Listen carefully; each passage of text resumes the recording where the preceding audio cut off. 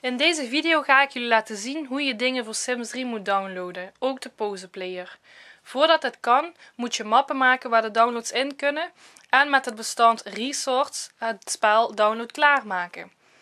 Onder in de beschrijving van deze video vind je de downloadlink van Resource. Als je daarop klikt, kom je op deze pagina. Klik op opslaan. Onder in beeld verschijnt de balk. Klik op opslaan en dan map openen. Je ziet het bestand. Kopieer dit en ga naar de map van de Sims. In deze map moet je een nieuwe map maken genaamd mods. Hierin moet je dan het bestand resource zetten. Via de map mods en dan resource is je spel download klaar. Maak nog een map en noem deze package. In deze map moet je namelijk je downloads zetten. Je hebt twee soorten downloads en ik zal jullie nu allebei de soorten laten zien. Als voorbeeld ga ik nu een kapsel downloaden en dan laat ik jullie zien hoe je hem kan installeren in het spel. Uh, ik ga naar de site The Sims Resource, daar download ik vaker op. Dan kan je bovenin klikken op download Sims 3 haren.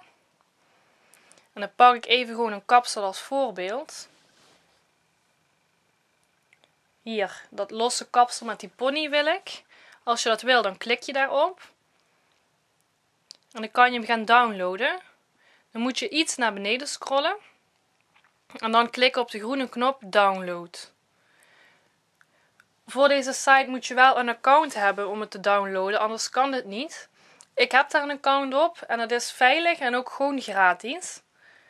Dan moet je 10 seconden wachten en dan klik je op start download. Dan komt in, onderaan die balk, doe je opslaan, map openen. Nu zie je een soort Sims logo.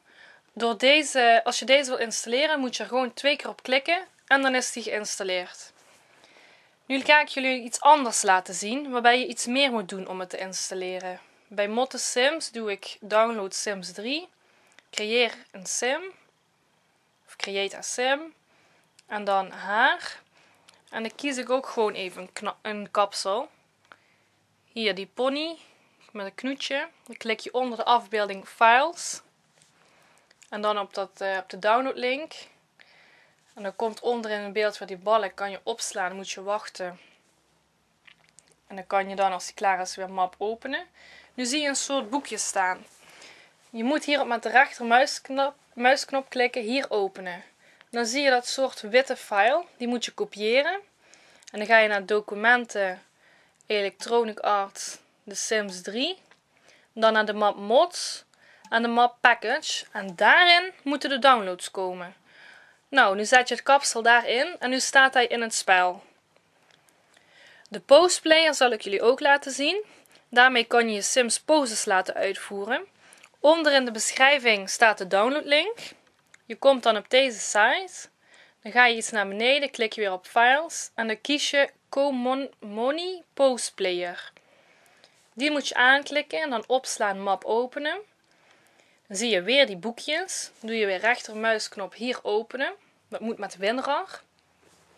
En dan komt dat witte file eruit. En dan moet je hetzelfde doen. Kopiëren, documenten, Electronic Art, The Sims 3, mods, package. En daar moet je hem inzetten. Nou, nu staat hij ook in je spel. Maar je moet ook poses downloaden en installeren voordat je poses kan doen in Sims. Ik zal het jullie laten zien. Ik download meestal hier poses. Uh, de link staat ook in de beschrijving van de video. Ik kies als voorbeeld jumpen, springen. En dan krijg je een pagina met springende poses. Ik pak meteen even de eerste. Download at the Light 33S Studio. Die heeft de pose gemaakt en dan ga je naar die site. En dan kan je naar onder scrollen, kan je twee dingen doen. Download met of zonder postlist. Dan zou ik met postlist doen. Ik zal jullie straks uitleggen waarom. Kom je op Mediafire, kan je download. Reclame moet je wegklikken, moet je niet op ingaan. Dat komt al eens vaker in beeld, gewoon met kruisje wegklikken. Dan doe je onderin opslaan, map openen. Dan zie je weer die boekjes. Dan doe je weer hier uitpakken. En nu zie je dat er een map uitkomt. Nou, dan ga je kijken wat in die map zit. Maar het zijn het meeste foto's. Je moet dat witte file weer hebben, dat witte bestand. Moet je weer hetzelfde doen, kopiëren. En dan weer bij je documenten naar Electronic Arts Sims 3. Mods, daar moet alleen Resource staan. En een package moet de download. En nu heb je dus uh, het kapsel, de postplayer en een postpack met poselist van springen. Die staan nu in je spel. Dan uh, zal ik even bij downloads de map alles verwijderen. Dat heb je niet meer nodig. heb je wat meer overzicht. En dan laat ik jullie nu meekijken in mijn Sims 3 hoe je de downloads kan vinden en gebruiken. Ik zal jullie eerst laten zien uh, de postplayer. Waar je die kan vinden in het spel. Hoe je hem kan kopen, neerzetten en hoe je poses kan laten uitvoeren. Dan moet je in het spel naar de bouwmodus gaan. En dan kan je rechts klikken op dat soort sterretje. En dan klik je de tweede en derde aan. Aangepast materiaal en materiaal opslaan. En dan staat bij decoraties overigens, staat dat soort filmding, de postplayer. Kost maar 1 simdollar, die moet je kopen. Dus bij decoraties. En dan kan je nu kiezen pose bij naam, name.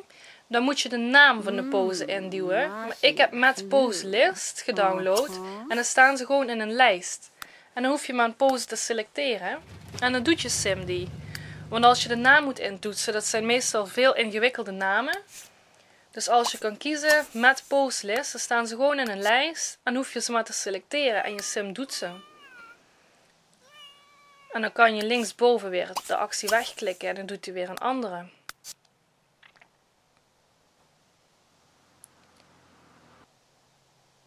Nou, dan zal ik jullie nu laten zien de kapsels dat die ook in het spel zit en hoe je die kan vinden. Moet je eh, bij je sim creëren. Of je sim uh, ga je naar de spiegel, doe je aanpassen. En dan kan je links klikken op haren. Maar uh, in Sims zitten heel veel kapsels. Daarom doe je weer uh, rechtsboven dat soort sterretje. En dan klik je weer de tweede en derde aangepast materiaal en gedownload materiaal. Dan laat hij alleen uh, gedownloade kapsels zien en dan heb je een overzicht. Kijk maar, nu vind ik alleen die twee. En dat is het kapsel met dat Sims logo, wat we met twee keer klikken hebben geïnstalleerd. En dat is die wat in de map package staat, die Knut met Pony. En zoals je ziet zitten ze allebei in het spel. En zo kan je ook meubels, make-up, kleren downloaden. Ik heb nu als voorbeeld kapsel gepakt. Dan wil ik jullie wel een tip meegeven.